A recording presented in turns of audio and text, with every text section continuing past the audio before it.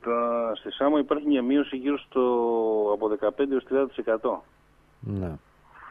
Ε, το καλοκαίρι μας δεν ήταν καλό για να πούμε ότι δουλέψαμε με τον τουρισμό, με τα ενοικιαζόμενα αυτοκίνητα και με όλα αυτά. Άρα υπάρχει μια μείωση από το 15 έως 30% στο σύνολο. Ε, στην κατανάλωση πάντα, έτσι. Μείωση κατανάλωσης βέβαια. Συνήθως συνή- ο μέσος όρος ας πούμε βενζίνης που βάζει ένα αυτοκίνητο πόσο είναι, πόσο είναι, δηλαδή έχουμε φουλαρίσματα να το πω έτσι απλά πολλά ή... Από τον τόπιο κόσμο μας όχι βέβαια, από 15, 20 ευρώ, 25 ευρώ το ανώτερο. Ο άνθρωπος ε, κοιτάζει τη βδομάδα του, θα ξοδέψει, τις δύο-τρεις μέρες να πάει στη δουλειά του.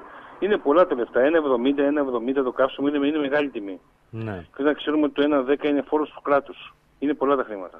Εσείς προσανατολίζετε θα έχετε απεργιακές κινητοποιήσεις; Ε, για την ώρα η Ομοσπονδία μας δεν έχει κρίνει ότι πρέπει να κάνουμε απεργιακές κινητοποιήσεις γιατί πανελλαδικά κοντεύουν να κλείσουν τα μισά βενζινάδικα. Ναι.